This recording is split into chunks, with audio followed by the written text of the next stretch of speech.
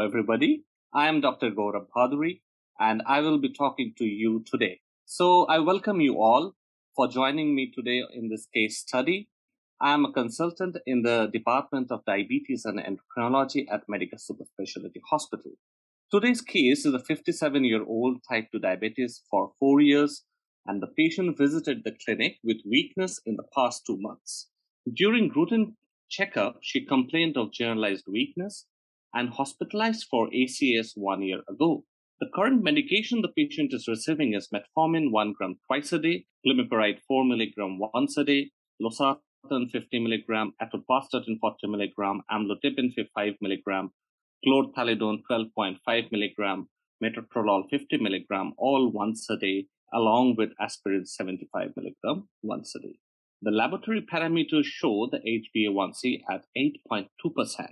LDL cholesterol is 55, HDL 37, triglyceride 156, and total cholesterol 168. The AST is 33, serum creatinine is 1.1 milligram per deciliter, EGFR comes out at 65 ml per minute per 1.73 meters square. Urine ACR is 150. The physical examination shows the BMI of the patient at 31, the blood pressure is 120 by 70, and the heart rate is 78 beats per minute. Now, given this situation, we must understand that the patient is not in a good glycemic control. So, along with optimization of the glycemic control, the very much importance should be given to the cardiorenal protection for this particular patient. And HbA1c goal for many non-pregnant adults of less than 7% is appropriate. On the basis of provider judgment and patient preference, achievement of lower HbA1c levels such as 6.5% may be acceptable if this can be achieved safely without significant hypoglycemia or other adverse effects of treatment. A better management during the last two decades allowed reducing the incidence of CV complication, yet the residual risk remains high in patients with type 2 diabetes. CKD remains a concern, at least partly due to the premature death among type 2 diabetic patients. Renal disorders are common in type 2 diabetic patients, with approximately 50% of patients developing some degree of renal impairment and an increasing prevalence of both conditions over time. The risk of renal disorders in type 2 diabetes include the development of multiple phenotypes of organ damage, often overlapping and untimely progressing similar to what occurs for cardiovascular disease. The EMPA-REG outcome, we all know, was a randomized double-blind placebo-controlled phase 3 trial involving 720 people with type 2 diabetes, almost all with established cardiovascular disease. The mean GFR at baseline was 74.1 and the median urine ACR was 18. Pre-specified renal outcomes in this study included incident or worsening nephropathy defined as progression to macroalbuminuria, doubling of serum creatinine associated with the EGFR, a main driver for the reduction in nephropathy with empagliflozin was a slower progression to macroalbuminuria. Compared with placebo, empagliflozin was also associated with significant improvement in a post hoc composite endpoint of incident or worsening nephropathy or CV death progression to macroalbuminuria, and initiation of renal replacement therapy with no differences reported between the two therapeutic doses of empagliflozin.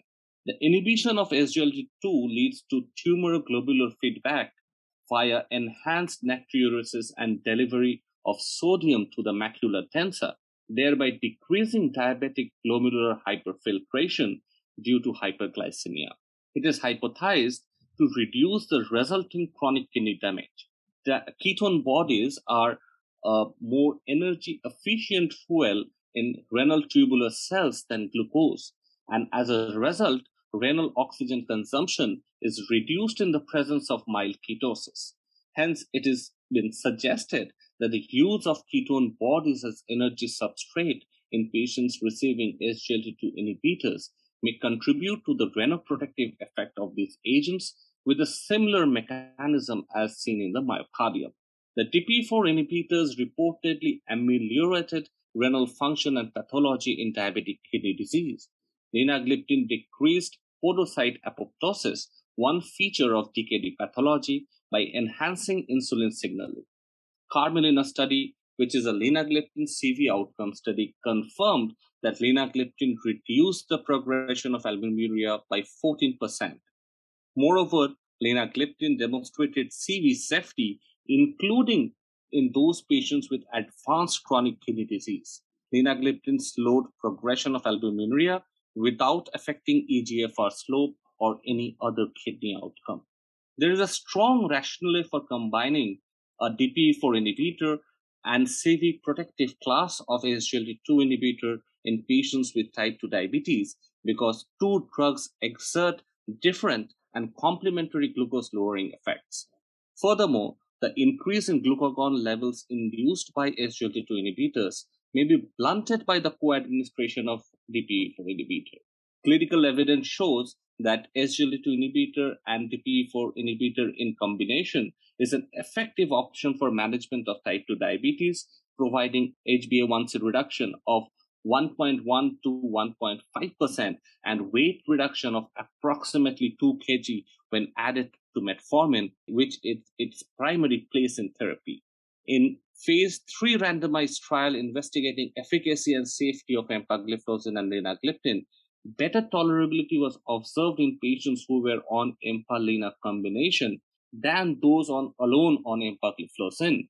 In terms of serious adverse events, 4.4 versus 7.1%, hypoglycemia 3.6 versus 3.5%, and even in genital infections 2.2 versus 8.5%. So this fact implies that empalina add-on to metformin constitute equal or rather even better tolerability than monotherapy when additive glycemic efficacy in uncontrolled, uncontrolled patient.